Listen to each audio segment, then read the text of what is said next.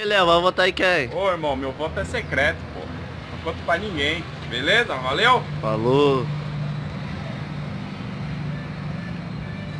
Um forte abraço!